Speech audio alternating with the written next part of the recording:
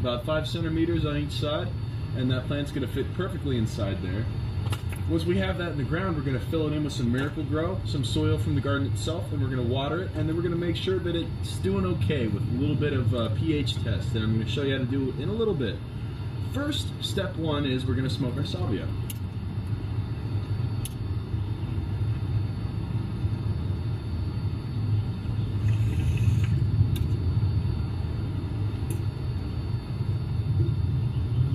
Now, you want to hold that in until your vision begins to vibrate. And then we're to go ahead and dig our hole. So, I found a nice spot right here that I think I'm to dig into. And uh, we're just to see how that goes. So,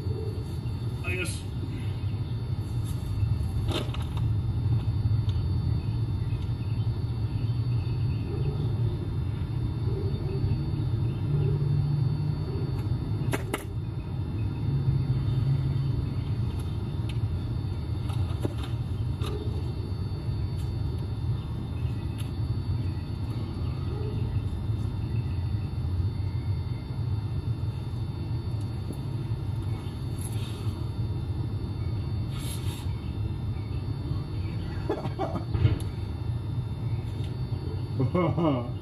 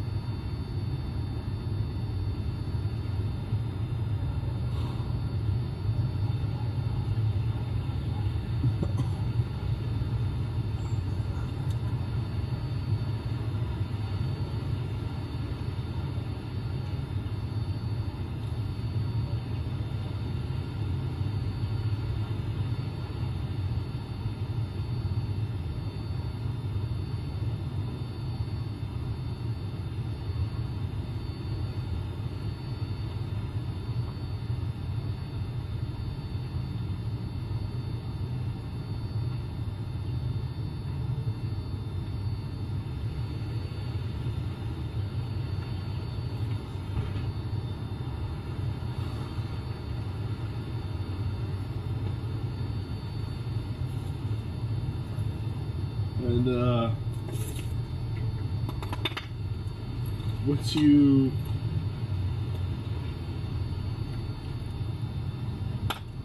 are done with that, you can go ahead and um, um, get your plant in the ground.